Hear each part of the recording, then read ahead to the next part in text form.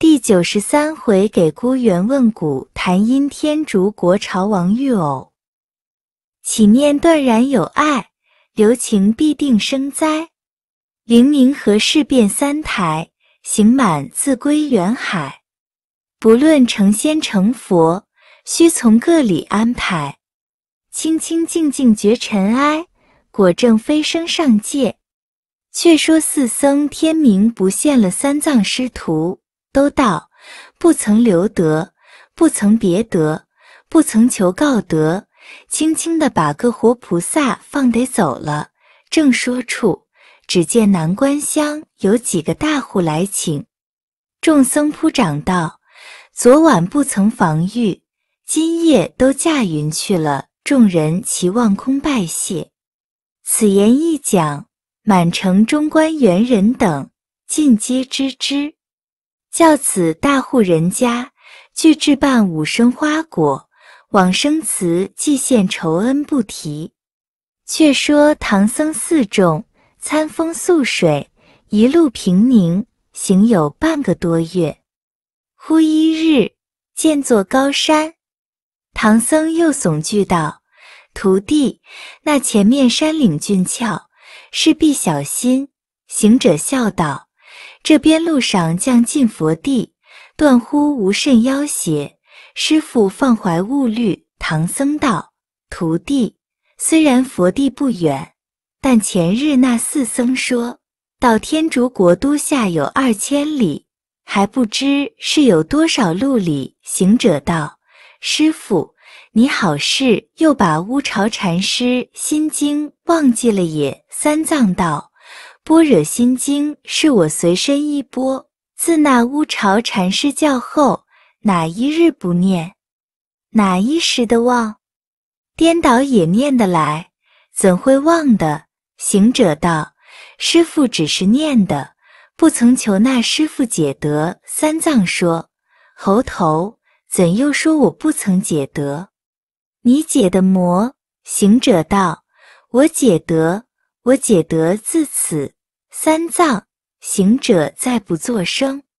旁边笑倒一个八戒，喜坏一个沙僧，说道：“嘴脸，替我一般的做妖精出身，又不是哪里禅和子听过讲经，哪里应佛僧也曾现过说法，弄虚头，找架子。”说甚魔小的解的，怎魔就不作声？听讲，请解。沙僧说：“二哥，你也信他？大哥扯长话，哄师傅走路。他晓得弄棒罢了，他哪里晓得讲经？三藏道：悟能，悟净，休要乱说。悟空解的是无言语文字。”乃是真解，他师徒们正说话间，却倒也走过许多路程，离了几个山冈，路旁早现一座大寺。三藏道：“悟空，前面是座寺啊！你看那寺，倒也不小不大，却也是琉璃碧瓦，半新半旧，却也是八字红墙。”隐隐现苍松掩盖，也不知是积千百年间，故悟到于今。潺潺听流水鸣弦，也不道是哪朝代时分开山流的在。山门上大书注不金禅寺，悬匾上留题注上古遗迹。行者看的是不金禅寺，八戒也道是不金禅寺。三藏在马上沉思道：“不金，不金，这莫不是舍卫国借了魔？”八戒道：“师傅，奇呀！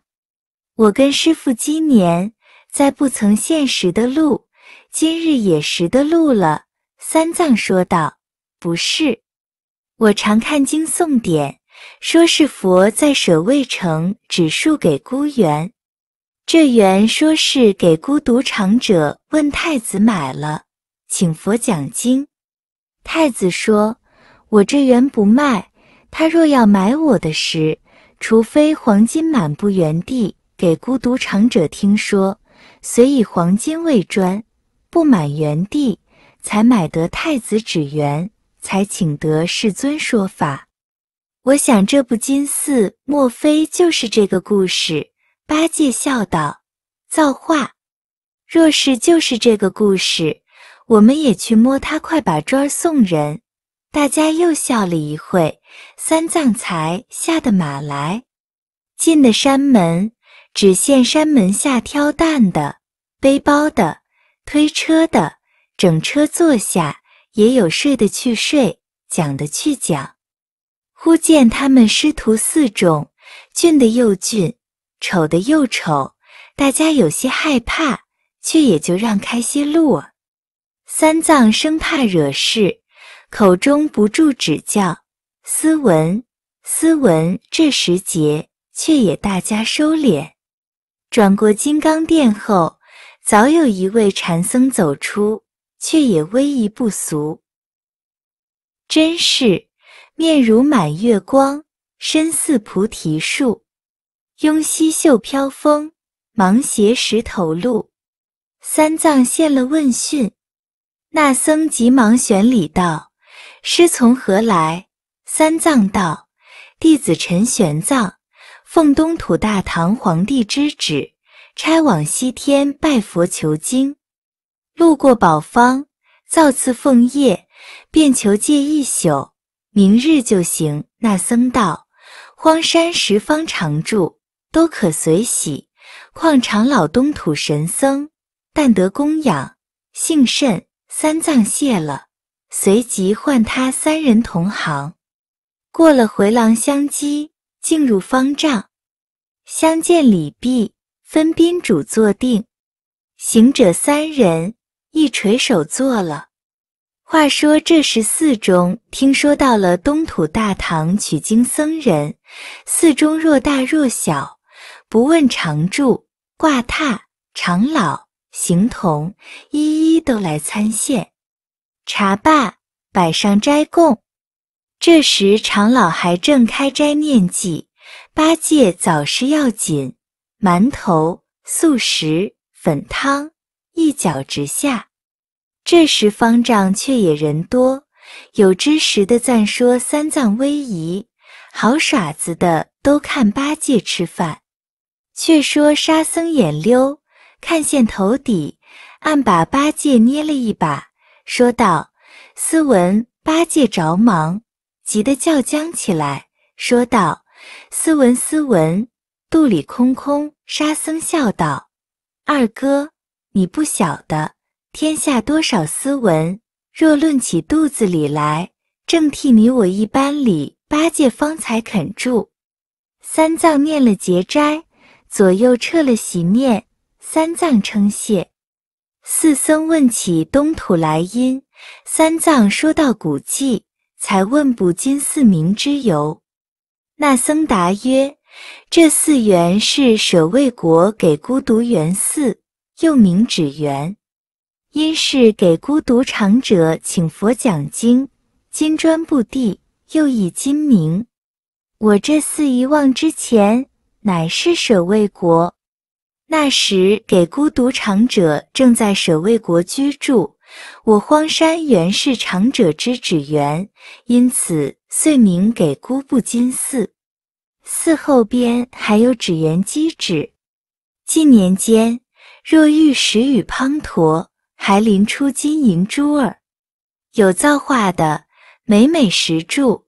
三藏道：“话不虚传果，是真。”又问道。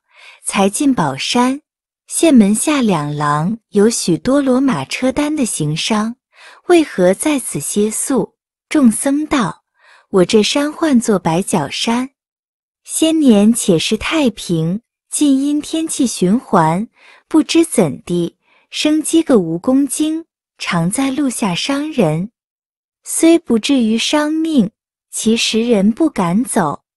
山下有一座关。”唤作鸡鸣关，但到鸡鸣之时才赶过去。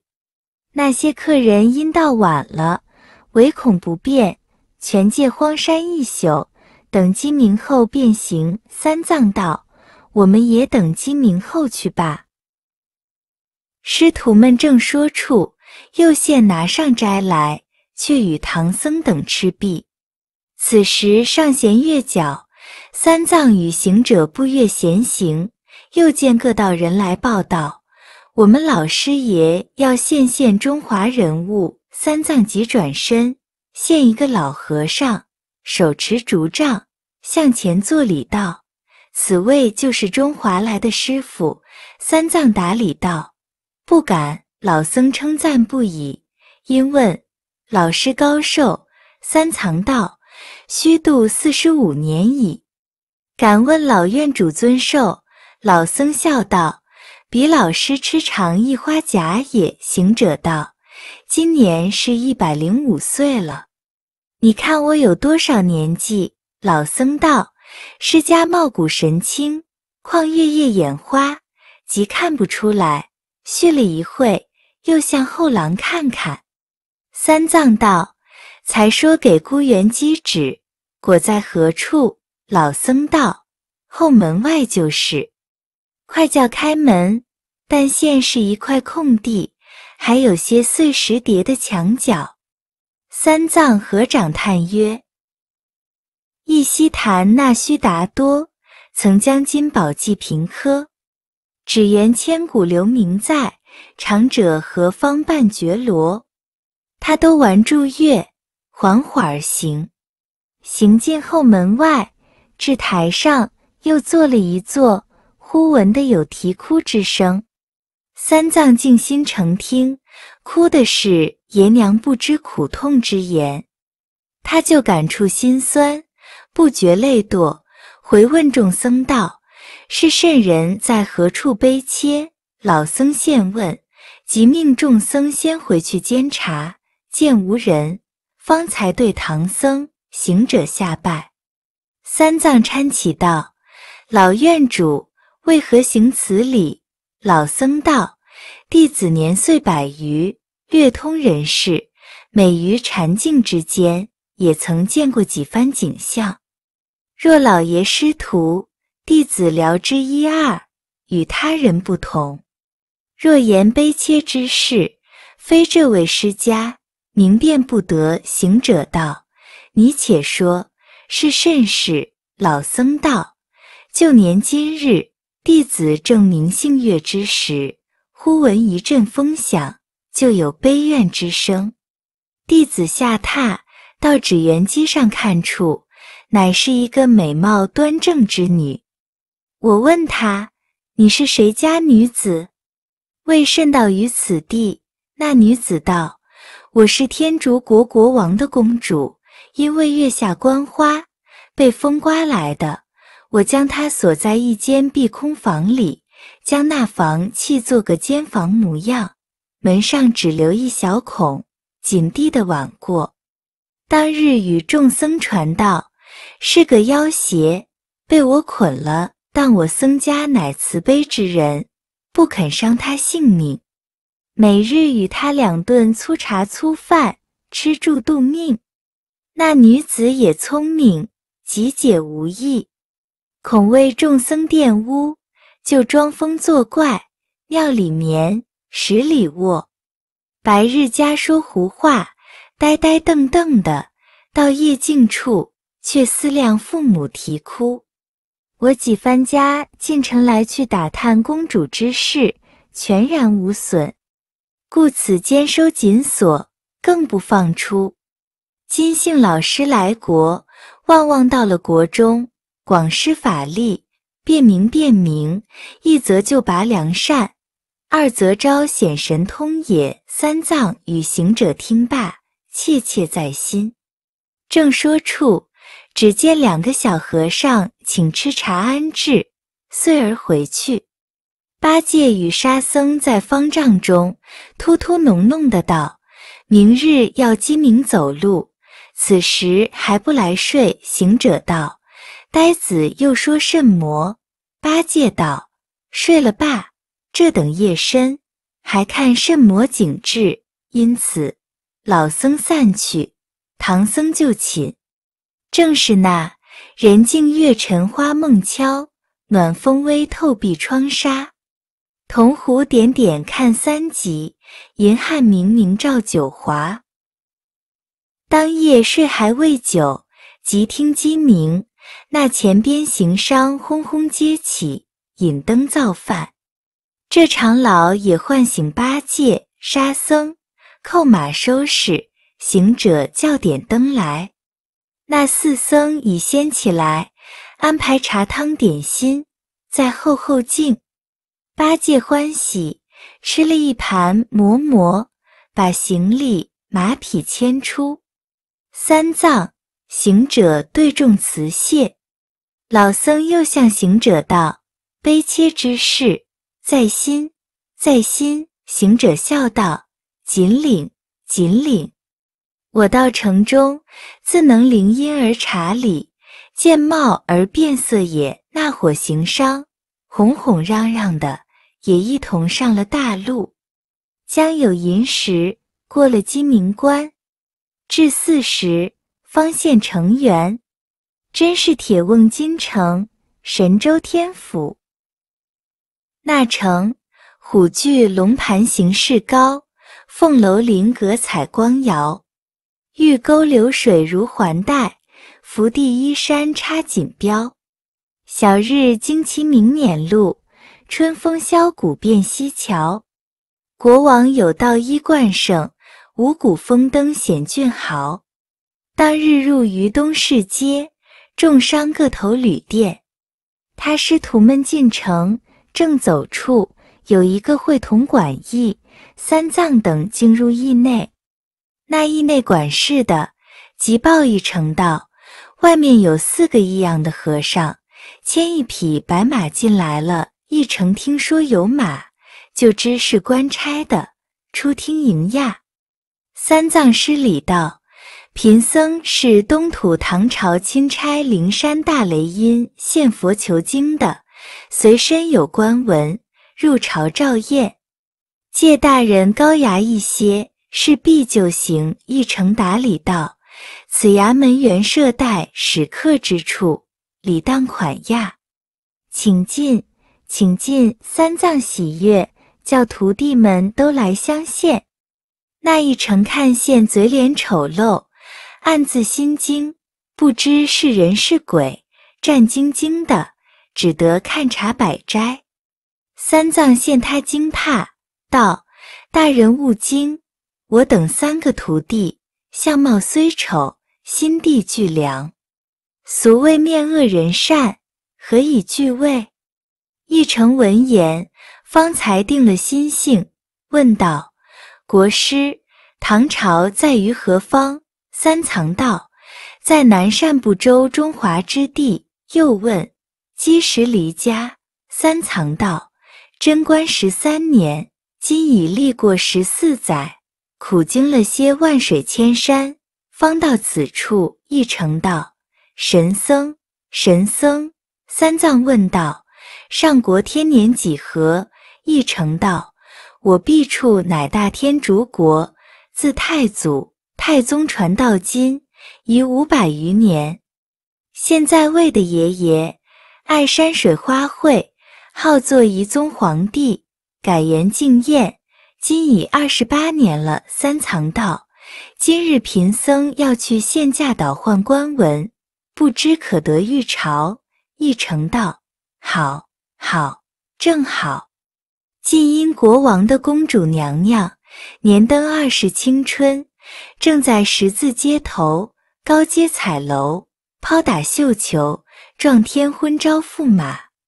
今日正当热闹之际，想我国王爷爷还未退朝，若欲倒换官文，趁此时好去。三藏欣然要走，只现摆上斋来，遂与一成行者等吃了。时已过午，三藏道。我好去了。行者道：“我保师傅去。”八戒道：“我去。”沙僧道：“二哥罢魔，你的嘴脸不现怎的？莫到朝门外装胖，还叫大哥去。”三藏道：“悟净说得好，呆子粗夯，悟空还有些细腻。”那呆子撅住嘴道：“除了师傅，我三个的嘴脸也差不多儿。三藏却穿了袈裟，行者拿了引带同去。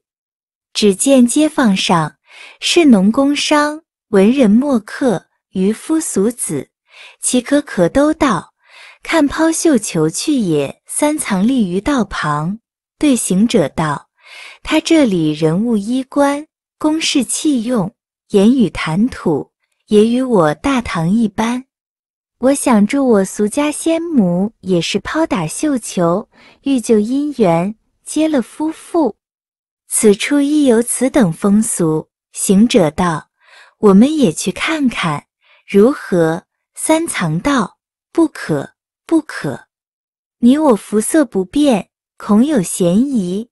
行者道：“师傅，你忘了那给姑布金寺老僧之言：一则去看彩楼，二则去辨真假。似这般茫茫的，那皇帝必听公主之喜报，哪里是朝里事？且去去来。”三藏听说，真与行者相随。现各相人等聚在那里看抛绣球呀，哪知此去却是渔翁抛下钩河线，从今调出是非来。画表那个天竺国王因爱山水花卉，前年带后妃公主在御花园月夜赏玩，惹动一个妖邪，把真公主摄去。他却变做一个假公主，知得唐僧今年今月今日今时到此，他假借国家之富，搭起彩楼，欲招唐僧为偶，采取元阳真气，已成太乙上仙。正当午时三刻，三藏与行者杂入人丛，行进楼下，那公主才拈香焚起，祝告天地。左右有五七十燕娇秀女，尽是的捧住绣球。那楼八窗玲珑，公主转经观看，见唐僧来的至近，将绣球取过来，亲手抛在唐僧头上。唐僧住了一惊，把个皮卢帽子打歪，双手忙扶住那球，那球骨碌的滚在他衣袖之内。那楼上齐声发喊道：“打住个和尚了！打住个和尚了！”一十字街头那些客商人等挤挤哄哄，都来奔抢绣球。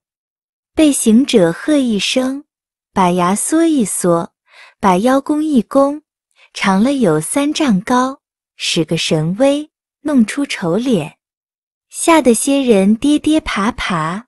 不敢相近，霎时人散。行者还现了本相。那楼上秀女、宫娥并大小太监，都来对唐僧下拜道：“贵人，贵人，请入朝堂贺喜。”三藏及海里扶起众人，回头埋怨行者道：“你这猴头，又是搓弄我也。”行者笑道：“绣球儿打在你头上。”滚在你袖里，干我何事？埋怨怎么？三藏道：“似此怎生屈处？”行者道：“师傅，你且放心，便入朝见驾。我回忆报与八戒、沙僧等候。若是公主不招你便罢，倒换了官文就行。如必欲招你，你对国王说，召我徒弟来。”我要吩咐他一声，那时召我三个入朝，我其间自能辨别真假。此事已婚降怪之际，唐僧无以从言。行者转身回忆，那长老被众宫娥等簇拥至楼前，公主下楼，玉手相搀，铜灯宝辇，摆开仪从，回转朝门。早有黄门官先奏道：“万岁，公主娘娘搀住一个和尚，想是绣球打住。现在午门外候旨，那国王现说，心甚不喜，意欲赶退，又不知公主之意何如，只得含情宣入。公主与唐僧遂至金銮殿下，正是一对夫妻呼万岁，两门携正拜千秋。李毕，又宣至殿上，开言问道：“僧人何来？欲朕女抛球得中。”唐僧俯伏奏道：“贫僧乃南赡部洲大唐皇帝差往西天大雷音寺拜佛求经的，因有长路观闻，特来朝王道唤。路过十字街彩楼之下，不期公主娘娘抛绣球，打在贫僧头上。贫僧是出家义教之人，怎敢与玉叶金之为偶？”万望赦贫僧死罪，倒换官文，打发早赴灵山，献佛求经，回我国土，永驻陛下之天恩也。国王道：“你乃东土圣僧，正是千里姻缘始现迁。寡人公主今登二十岁未婚，因则今日年月日时俱立，所以结彩楼抛绣球，以求佳偶。”可可的你来抛住，朕虽不喜，却不知公主之意如何。那公主叩头道：“父王常言嫁鸡逐鸡，嫁犬逐犬。女有誓愿在先，接了这球，告奏天地神明，撞天婚抛打。今日打住圣僧，即是前世之缘，遂得今生之遇，岂敢更疑？”愿招他为驸马，国王方喜。即宣亲天监正台官选择日期，一碧香收拾庄帘，又出旨晓谕天下。三藏闻言，更不谢恩，只叫放射放射。国王道：“这和尚甚不通理。朕以一国之父招你做驸马，为何不在此享用？”念念只要取经，再若推辞，叫锦衣官校推出斩了。长老吓得魂不附体，只得战兢兢叩头起奏道：“敢蒙陛下天恩，但贫僧一行四众，还有三个徒弟在外，今当领纳，只是不曾吩咐的一言。望望召他到此，倒换官文，叫他早去。”不误了西来之意，国王遂准奏道：“你徒弟在何处？”三藏道：“都在会同馆驿。”随即差官召圣僧徒弟领官文西去，由圣僧在此为驸马。长老只得起身侍立。有诗为证：诗曰：“大丹不漏药三全，苦行难成恨恶缘。”道在圣传修在己，善由人积福由天。修成六根多贪欲，顿开一性本来源。无爱无私自清净，管教解脱的超然。当时差官至会同馆驿，宣召唐僧徒弟不提。却说行者自彩楼下别了唐僧，走两步，笑两声，喜喜欢欢的回忆。八戒、沙僧迎住道：“哥哥，你怎么那般喜笑？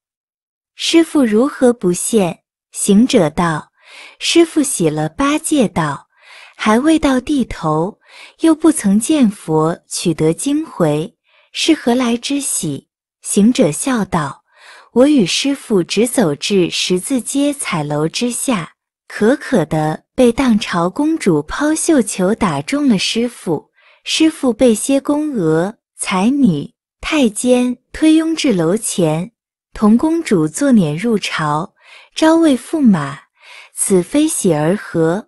八戒听说，跌脚捶胸道：“早知我去好来，都是那沙僧被懒，你不阻我呀！我竟奔彩楼之下，一绣球打住我老猪。那公主招了我，却不美哉！”妙哉！俊瓜标志停当，大家造化耍子儿，何等有趣！沙僧上前把他脸上一抹，道：“不羞，不羞，好个嘴巴骨子！三钱银子买了老驴，自夸其德。要是一秀求打住你，就连夜烧退送旨也还到迟了，敢惹你这会气进门。”八戒道：“你这黑子不知趣，丑自丑，还有些风味。自古道，皮肉粗糙，骨骼坚强，各有一德可取。行者道：呆子莫胡谈，且收拾行李。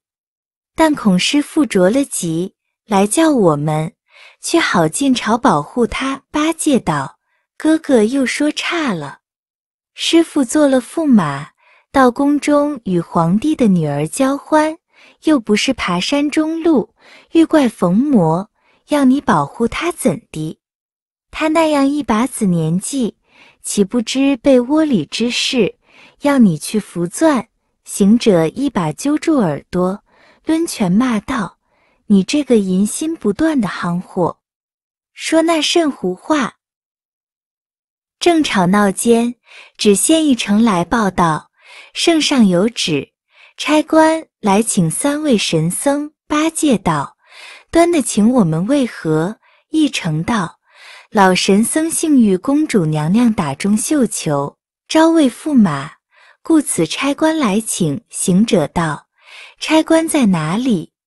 叫他进来。”那官看行者失礼，礼毕，不敢仰视，只管暗暗说道：“是鬼，是怪。”是雷公夜叉行者道：“那官儿有话不说，为何沉吟？”那官儿慌得战战兢兢的，双手举住圣旨，口里乱道：“我公主有请会亲，我主公会亲有请。”八戒道：“我这里莫行惧，不打你，你慢慢说，不要怕。”行者道：“莫成道怕你打。”怕你那脸里，快收拾挑担，牵马进朝见师傅，议事去也。这正是路逢侠盗难回避，定叫恩爱反为仇。毕竟不知献了国王有何话说，且听下回分解。